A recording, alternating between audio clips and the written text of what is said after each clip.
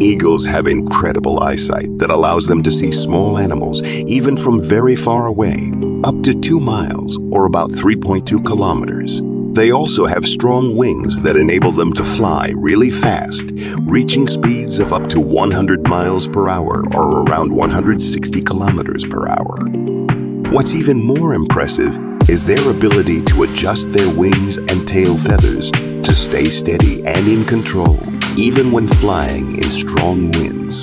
In the Philippines, the Philippine eagle is the national bird and it is very special because it is one of the rarest and most endangered types of eagles in the whole world.